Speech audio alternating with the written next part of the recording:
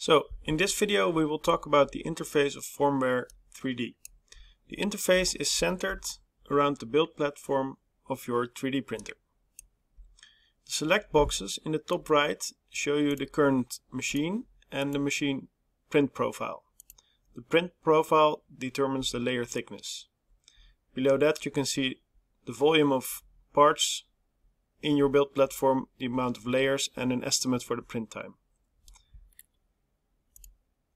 Under the tab Support Profile you can see the current profile used for supporting. On the top of the program there's the main menu bar and there's a toolbar with lots of commands. With the file menu you basically import your part. Let's import two parts.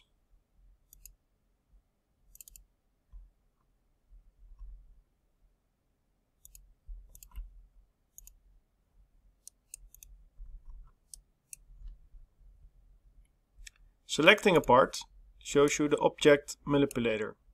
With this you can easily move your part around or you can rotate it. The edit menu contains all the things you would like to do like copying, paste, deleting or selecting. But you would usually use shortcuts for this like Ctrl C or Ctrl V. When you right click a part, you see an additional menu that shows you some options to quickly move the part.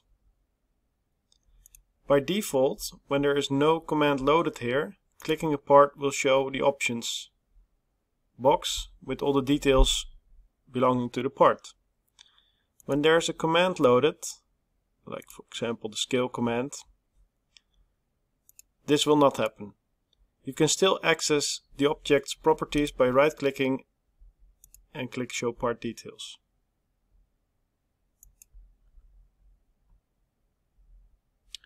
Your parts list is on the right.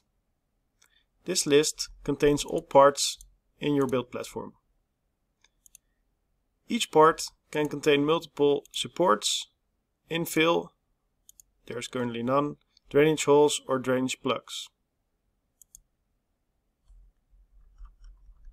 If you would like to work on one part specifically, you can choose to focus on the part. You do that by clicking this small magnifying glass and this will basically hide all the other parts.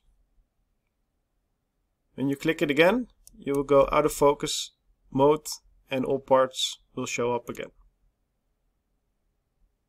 When you are done preparing your print job with editing your mesh, placing supports, you go to the slice menu and you click start slicing to start slicing your print job. Thank you for watching.